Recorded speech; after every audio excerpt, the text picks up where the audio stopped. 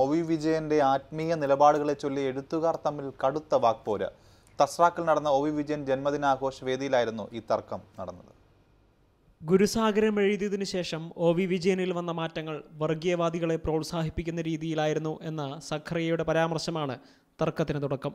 ഇതിനെതിരെ O V വിജയന്റെ സഹോദരി ഒ വി ഉഷയും ആഷാമേനോൻ വി മധുസൂദനൻ നായർ തുടങ്ങിയ സാഹിത്യകാരന്മാരും രംഗത്തെത്തി. പിന്നീട് വിജയൻ ഇടർച്ചകൾ വന്നപ്പോൾ എനിക്ക് എന്റെ സ്വന്തം അപ്പനാണെങ്കിലും ഞാൻ ചോദ്യം ചെയ്യും. ഈ കാര്യത്തിൽ ഞാൻ ചോദ്യം ചെയ്യും. എനിക്ക് അതിനെപ്പറ്റി യാതൊരു സംശയമില്ല എന്റെ സ്വന്തം അമ്മയാണെങ്കിലും ഞാൻ ചോദ്യം ചെയ്യും.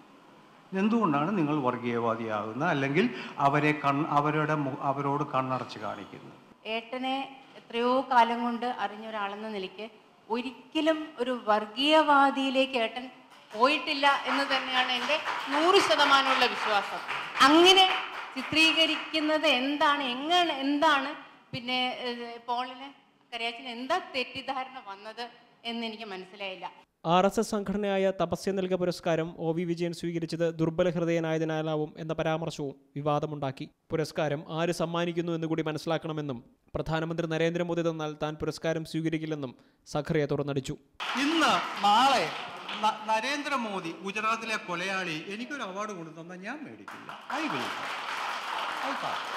അത് ആ അംഗീകാരം മധു എനിക്ക് വേണ്ട. അല്ലാതെയൊക്കെ ഉള്ള നമുക്ക് ഇതുപോലെയൊക്കെ ഉള്ള അംഗീകാരങ്ങൾ എനിക്ക് എനിക്കാവശ്യം. ഏഷ്യാനെറ്റ് ന്യൂസ് പാലക്കാട്.